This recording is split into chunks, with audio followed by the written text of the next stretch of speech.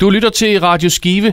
Netop nu der har jeg ringet op til Skive Kommune og også fået fat i uh, Tony Holmberg Christensen. Og grunden til, at jeg har fat i dig, det er fordi, der er tre forskyndelsesprojekter i Skive Bykerne. Vil du ikke lige prøve at fortælle mig lidt nærmere om dem?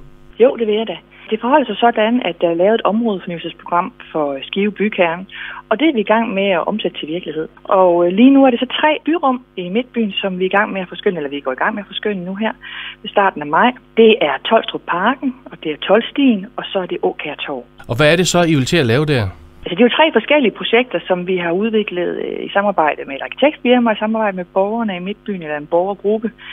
Åkær Torv er jo både øh, først og fremmest en, en skolegård for Åkær Skole, men det er også øh, en fin lille plads øh, i Frederiksgade, som øh, vi gerne vil gøre mere inviterende, både for de borgere, der bor i gaden, men også for dem, som bevæger sig inde i byen. Så der vil vi øh, gøre den mere grøn, og vi vil gerne gøre den mere inviterende til, til mere leg for børnene, når de er i skoletiden, men også for borgerne i fritiden så de kan gøre ophold, og de kan komme og lege, og de kan sætte sig ned på en bænk og nyde gadens liv. Hvis ja. vi så kigger på Tolstrup Parken, hvad så der?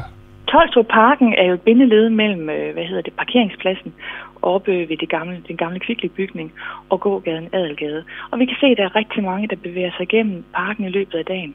Vi vil gerne øh, forskønne parken, vi vil gerne gøre den adgang gennem parken til en, øh, til en endnu bedre oplevelse. Og så har vi også fået musikskole lige ved siden af, så vi synes, det var oplagt at binde parken og musikskolen bedre sammen, så der kommer blandt andet en, en, en lille scene nede i parken, hvor vi håber på, at der måske kunne blive noget musik og underholdning øh, på udvalgte tidspunkter.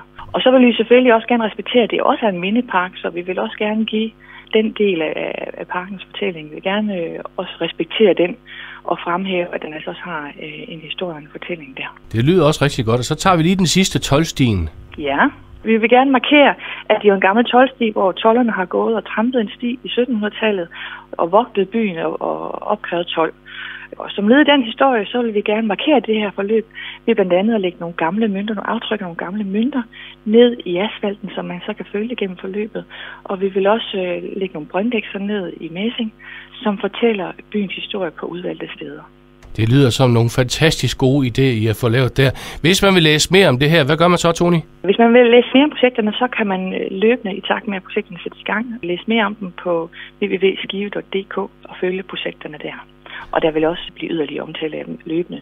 Det er også sådan, at vi har en borgergruppe med, så når vi kommer så langt, så vil det også blive en indvielse. Tony Holmberg Christensen, tak fordi du var med her. Velbekomme.